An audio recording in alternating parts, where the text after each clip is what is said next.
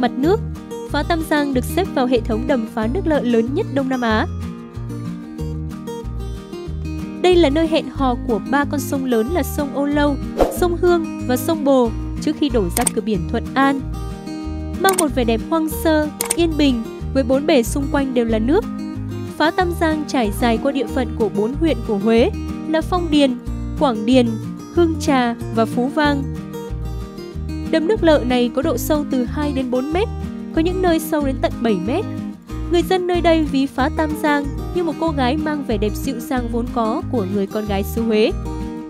Hiện nay, phá Tam Giang trở thành điểm đến thu hút hàng nghìn du khách đến ghé thăm mỗi năm, là nơi mà du khách không nên bỏ qua trong chuyến hành trình du lịch Huế của mình.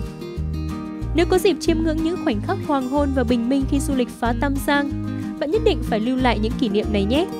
Vì đây sẽ là một trong những cảnh tượng thơ mộng nhất mà xứ Huế gửi tặng đến du khách.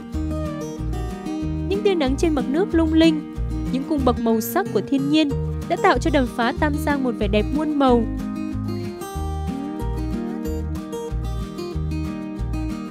Chợ nổi phá Tam Giang không đông đúc xuồng ghe và đa dạng nhiều mặt hàng như những chợ nổi miền Tây Nam Bộ. Ở đây, cư dân địa phương chủ yếu mua bán các loại thủy sản vừa đánh bắt được của vùng đầm phá.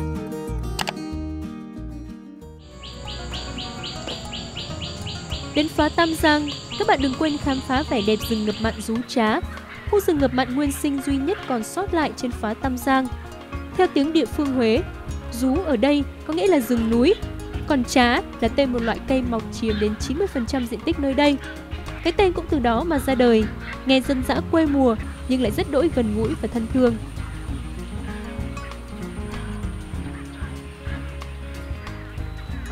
Mọi người đến xú Trá với những mục đích khác nhau. Nhiều người, nhiều đoàn học sinh, sinh viên đến đây để thực địa nghiên cứu thế giới nguyên sinh.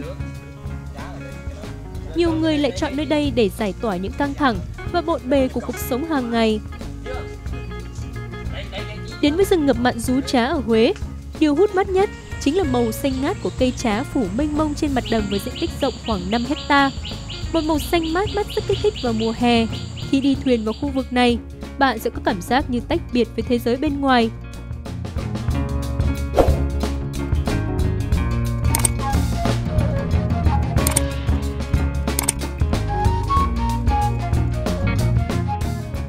Rừng rú trá sở hữu hệ sinh thái vô cùng phong phú, đa dạng với nguồn tôm, cá vô cùng dồi dào.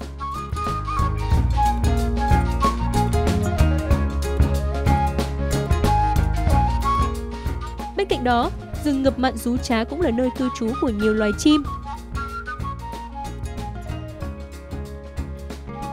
Trên rú hiện nay chỉ có ông Nguyễn Ngọc Đáp sống cùng vợ trong một căn nhà nhỏ. Gia đình ông đã tình nguyện bỏ phố, về rừng, ở đây giữ gìn và bảo vệ rú trá hơn 30 năm nay. Người ta gọi ông với cái tên trìu mến, người giữ rú.